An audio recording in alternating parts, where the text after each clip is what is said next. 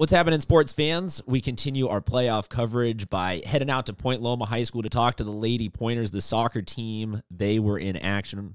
They got that quarterfinal dub, one nothing. That had to feel good, ladies. Thank you very much for joining us. Congratulations. I'm assuming the semis got to feel pretty good. That has a nice ring to it.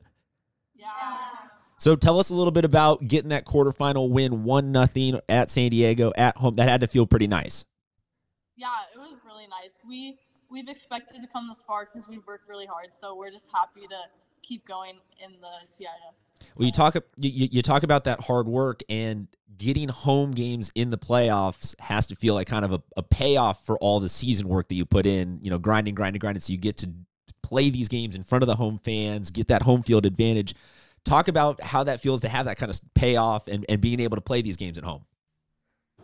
Yeah, at home we have lots of fans that come out, and it feels really good when you have support behind you when you have these big wins and big games. So we love having the home games. All right, so you guys get a one nothing win. You're into the semifinals. Does anything change right now in, in practice and the mentality? Where's your headspace at as a team?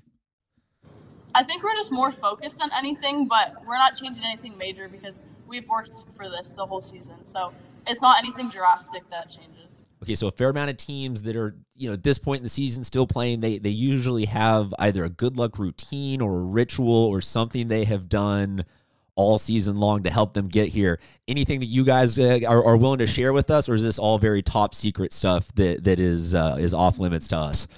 Um, one thing that we do is every home game before we go onto the field, we all have a, we go in a circle and we do the Husker prayer, and it really hypes us up for the game, and it's a really good ritual for us.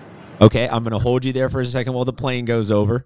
Uh, that is the peril of, of going to Point Loma is you have the audio there every now and then. But so you said the Husker prayer. Um, are we able to get a video of that uh, tweeted out or Instagrammed out the next time you guys get it done uh, before a game? Yes.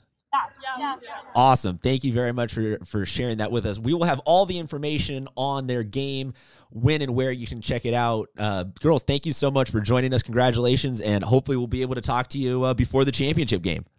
Thank you. Thank you. You guys have a great day. You too.